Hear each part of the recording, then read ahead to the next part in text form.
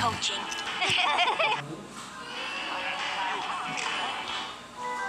yeah, we gotta get back to... What? Coming to you live from Canterlot.